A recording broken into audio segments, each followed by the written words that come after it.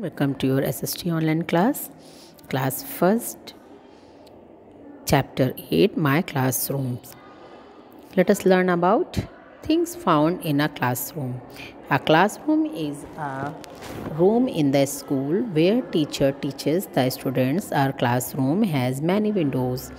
They let in light and fresh air. Classroom एक classroom है और स्कूल में वहाँ पर।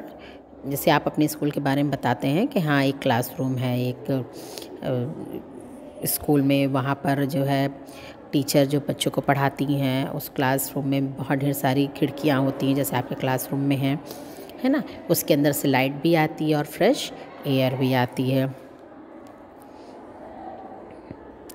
और जो स्कूल के रूम होते हैं, उन्हें ही क्लासरूम कहते हैं। जैसे हम लोगों के घरों में रूम होते हैं, लेकिन स्कूल में उन रूम को क्लासरूम कहा जाता है।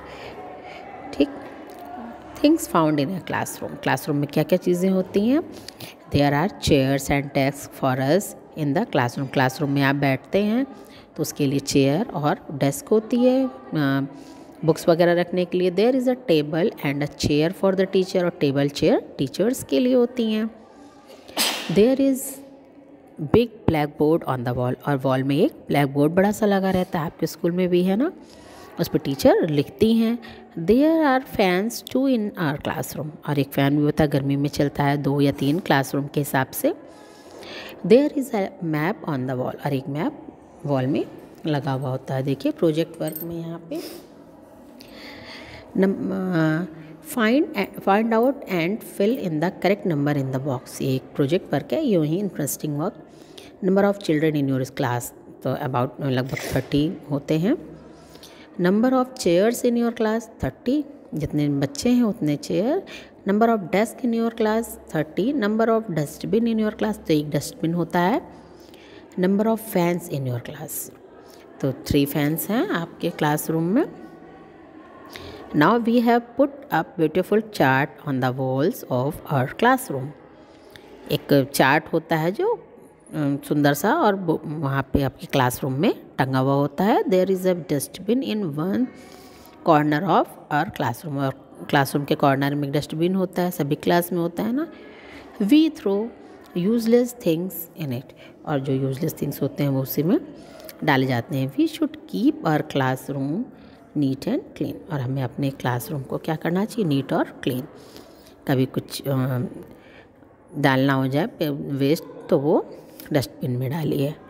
And now in brief a classroom is a room in the school where teacher teachers the students a classroom has many windows to let in light and fresh air in in a classroom, there are chairs and desks for students and table and chair for the teacher.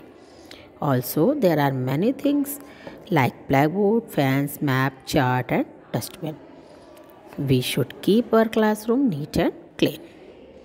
Now, children, exercise section 1 oral question देखिए where does the teacher write चूँकि one word answer ही आप लोगों के आने हैं इसलिए मैं शॉर्ट में ही अब answer लिखवाऊँगी where does the teacher write तो कहाँ लिखती हैं? ब्लैक बोर्ड तो आप लिख देंगे ब्लैक बोर्ड यहाँ पर देखिए ब्लैक बोर्ड और second question where do you keep your books in the class तो डेस्क पे रखते हैं आप।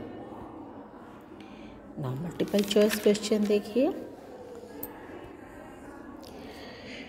The teachers teaches on the blackboard. We should throw waste things on it into dustbin तो पहले में बी नंबर पर ब्लैक बोर्ड और सेकंड में सी नंबर डस्टबिन फिर नेम द पिक्चर्स तो आप आइडेंटिफाई करके पिक्चर्स के नेम लिखने pencil dustbin bag black board now section second में देखिए A fill in the blanks और school has many classrooms, children study in classrooms. There is a big blackboard on the wall. Window, let in light and air. तो window के through आपके class में light आती है और air तो ये आपका पूरा हो गया। पहले में आप मैनी भरेंगे, फिर स्टडी फिर क्लासरूम फिर विंडोज़ ठीक है? ना answer the following questions what do you do in your classroom? क्या करते हैं आप? स्टडी करते हैं? स्टडी लिखिए। Where do you sit in your classroom तो बेंच पे बैठते हैं आप। Where do you throw useless things dustbin तो आपको ये लिखना है स्टडी बेंच एंड डस्टबिन ना